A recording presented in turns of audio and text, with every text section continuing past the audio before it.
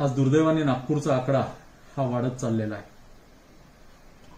अनेकदा पेशंट सुचलत असताना आम्ही सारे पेशंट्स एकत्र ठेवतोय आणि एकत्र असताना त्यांचं स्वॅबचं टेस्टिंगला जातं. त्यावेळी टेस्टिंगला जातं त्यावेळी जे पेशंट्स क्वारंटाईन म्हणून एकत्र एमएलए हॉस्टेलला ठेवलेले असतात ते एकत्रित राहत असतात. त्यांना कुठेही याची जाणीव होत नाही की आपल्यापैकी पॉझिटिव्ह कोण आहे. आणि त्यामुळे जसा चहा येतो तर चहाच्या ठिकाणी एकत्रितपणे जाणं. एकाच वेळी दहा वीस जण त्या फ्लोअरमध्ये लोक फिरत राहणं. एकाच वेळी डब्बा आला की सात आठ जण दहा जण मांडीला मांडी लावून जेवायला बसणं. संध्याकाळच्या वेळेला किंवा सकाळच्या वेळेला टेरेसवरती फिरायला जाणं. टेरेसवरती उभं राहणं घंटोंशी हे प्रकार चालू आहे.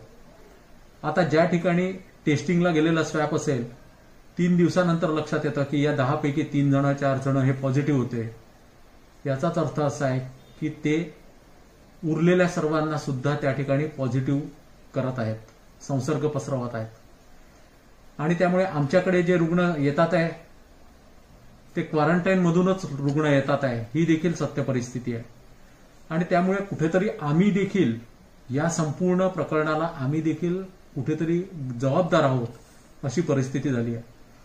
त्यामुळे सर्वांना ज्या पद्धतीने आधी जीएमसी आयजीएमसीला न्यायचे स्वॅब कलेक्शन करायचे आणि त्याच्यानंतर जे निगेटिव्ह राहायचे त्यांना क्वारंटाईन करायला एमएलए हॉस्टेलला पाठवायचे ही गोष्टच बरोबर होती.